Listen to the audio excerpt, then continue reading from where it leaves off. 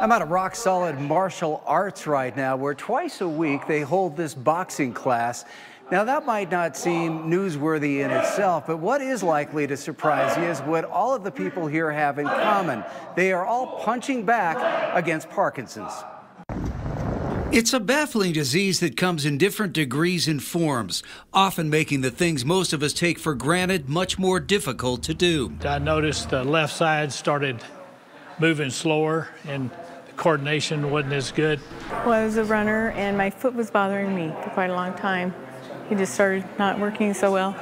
Judge Gregory Todd began to notice one of the most common symptoms shortly before he retired from the bench. I, when I was holding papers, they would they would kind of rattle, and uh, it was very obvious that uh, that that tremor was affecting uh, my holding it, and so that that prompted them going to a neurologist and, and verifying it. The culprit? Parkinson's disease. Approximately 90,000 people are diagnosed with Parkinson's each year in the U.S., but in this class, they're doing everything they can to fend it off.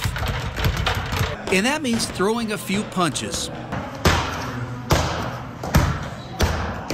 Nice.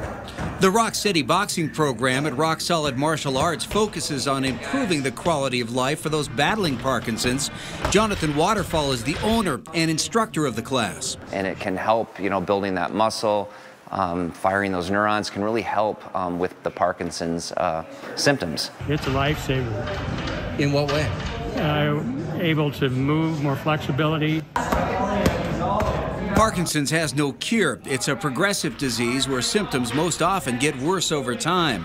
But studies have shown that moderate to high intensity exercise can slow the progression.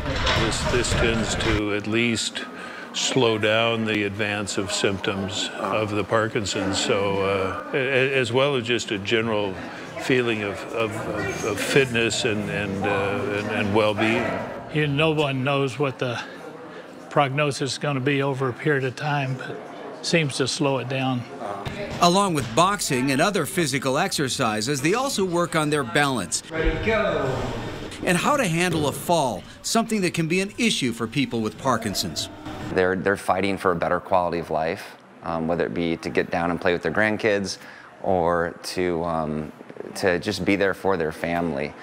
There's also that common bond that those in the class share, which makes it easier to punch back at Parkinson's. We focus, and he mixes things up. It's fun, and the social part of the whole thing.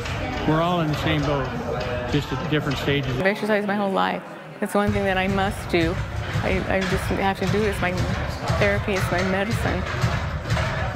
Programs like this one are making a big difference in the lives of Parkinson's patients.